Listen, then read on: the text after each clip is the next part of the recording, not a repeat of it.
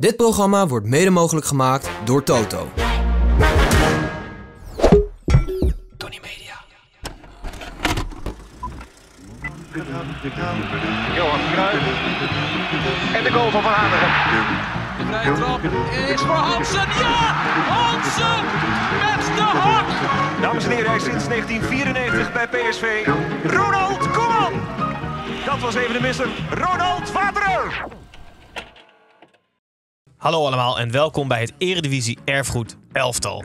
De podcast waarin wij eigenlijk gewoon het allervetste Eredivisie Elftal ooit gaan scouten. Elke donderdag trekt een van ons de lange digitale regenjas aan, duikt in het verleden van de Eredivisie en presenteert ons een scoutingsrapport. En uiteindelijk bepalen de luisteraars, de beleidsbepalers van deze podcast, welke van de vier spelers een plek verdient in de basis van het Eredivisie Erfgoed Elftal.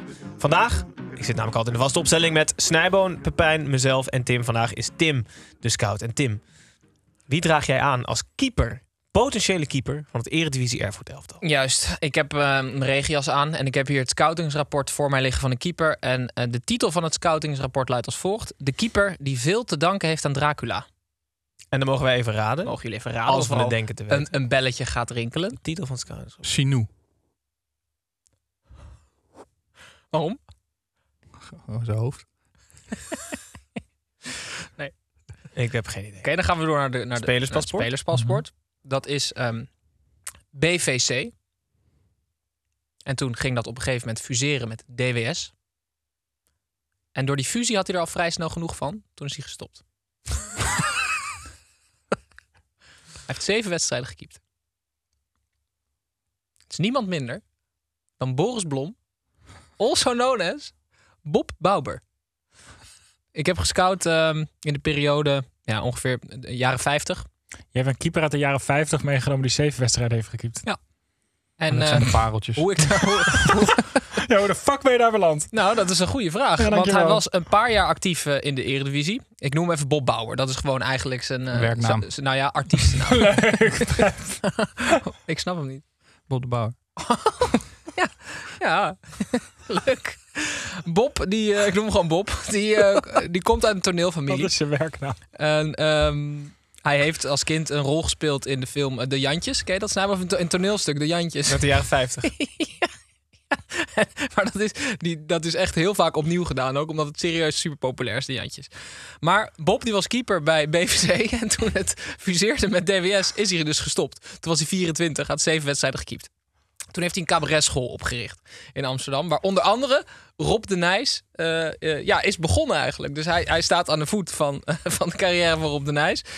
Dat heeft hij... Ik denk dat zoveel van onze luisteraars dit niet als goed feitje dat Rob de Nijs van zijn toneelschool afkomt. Die weten, die heeft geen idee wie Rob de Nijs is. Ik trouwens ook nog steeds. Maar van de toneels van Bob Bauer, die zeven wedstrijden bij DWS heeft gespeeld. Die na de fusie ermee stopte die. Ja, ja, die was er klaar mee toen. Ja. Eh, dit was ook nog het minste argument. Oké. Ehm, in 1962 heeft hij een band opgericht. ZZ en de Maskers heet die band.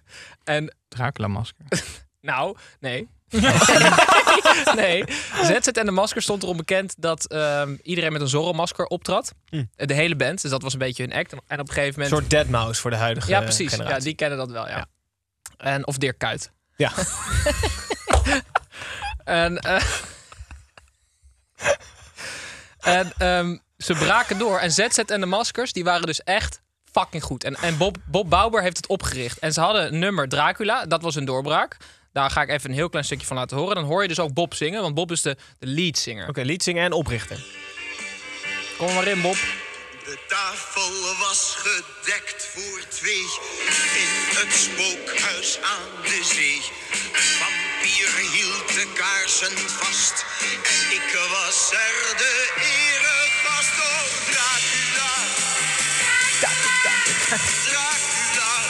Heel vet, toch? En ze hebben dus... eh, laat hem even Gewoon, lekker ik zou lopen. gewoon vet zeggen. Niet Ja, heel vet. Ja, maar zij Hij hebben dus... klinkt echt precies als die gozer van DWS. Zij Die hebben... er na die fusie mee stopte toen. Zij hebben een Edison gewonnen voor eh, Ik heb genoeg van jou. Ehm, ze hebben in 1965 getoerd in Engeland. Dit is echt vet. I have enough of you. Dat ging zo fucking goed. Het is echt een daverend succes. Ze kwamen op tv. En de manager van de Beatles, ehm, Brian Epstein... die heeft serieus overwogen om ZZ en de Maskers ook te gaan begeleiden. Terwijl die ook al de Beatles had. eh, Maar dan wordt het ZZ en de Maskers, toch? ja, ja, of Damascus. Ehm, En het ging dus serieus supergoed. En toen in 1966 kreeg Bob ruzie met de rest. Waarom? Die andere muzikanten... Vonden die fusie top. nee, voor, muziek Dit was is alles. ver na zijn carrière, hè? Voor de, toch? Dit is ver. Nou, niet heel ver. Acht Nee? jaar of zo. Ja, is nu oké, pas maar hij is 32. wel echt volledig... Nadat hij gestopt was, dit was niet naast zijn voetbalcarrière. Nee, dus Nee, hij is gestopt. Cabaretschool Ja. opgericht. Ja. paar jaar dat gerund. Rob Rob de de Nijs op geholpen. en, en toen is hij ZZ en de. Maskers begonnen. Bijna werd hij, eh, werden zij dus de nieuwe Beatles daarmee. Ja. Edison prijs gewonnen met het nummer ik, ik heb genoeg van jou. Toen in 66 ruzie uit elkaar gegaan. Omdat voor Bob was dit gewoon een side project. Bob was een creatieve duizendpoot, die kon alles. Mm. Maar die andere muzikanten die met dat masker op... Ja, eh, eigenlijk het snot voor de ogen aan het musiceren waren. Ja. Muziek was alles. En nou, dat, dat leidde uiteindelijk tot frictie. Dus ze gingen uit elkaar. Maar toen ging Bob in zijn eentje verder als, eh als solozanger. Want dan had hij ook niemand die aan zijn, kop zeurde. Een heerlijke solo-hit met Voor Niets. Eh, had hij een derde plek in Nederland. Was ook leuk. Ehm, ik wil me Donald Ducky. Was ook nog een nummer van hem. Ehm, Hij werd echt ineens volkszanger, of hij niet? werd volkszanger, maar eh, hij ging ook eh, theaterproducties produceren. Choreograaf. Hij heeft ehm, de Academie voor Jazzdansers opgericht in Ja, Amsterdam. Met Rob de Nijs ook. jullie nemen mij echt niet serieus. Nee, maar, natuurlijk niet!